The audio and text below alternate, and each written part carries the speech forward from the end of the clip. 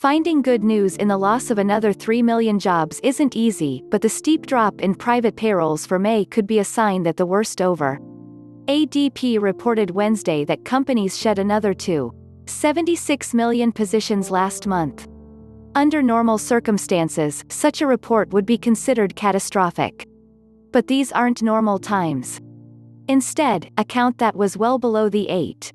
75 million estimate provided hope that the most severe jobs crisis in U.S. history is about to turn around as an economy battered by the coronavirus pandemic takes its first steps to reopening.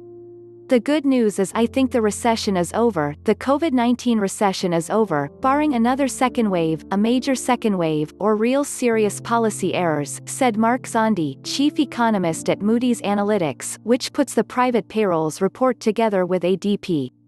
The bad news, he added, is that the recovery will be a slog until there's a vaccine or therapy that's distributed and adopted widely. While the ADP count can be volatile and vary widely from street estimates, this one took that to another level. However, Zandi said there are several explanations. One is that last week's jobless claims report provided the first indications that the pace of layoffs had slowed notably and that people were going back to work. Continuing claims, or those workers receiving unemployment benefits for at least two weeks, tumbled by nearly 3. 9 million even as first-time claims numbered more than 2. 1 million. Continuing claims peaked at 24.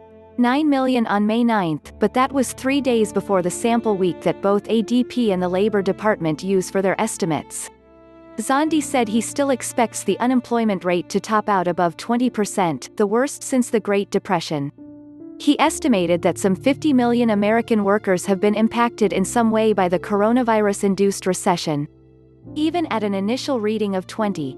5 million, the government's estimate for April probably undercounted the total due to a tabulation discrepancy in which millions of workers who had been classified as absent from work actually should have been considered unemployed. The Bureau of Labor Statistics estimated that the 14 7% unemployment rate would have been nearly 5 percentage points higher had those workers been counted correctly. The job loss is abating.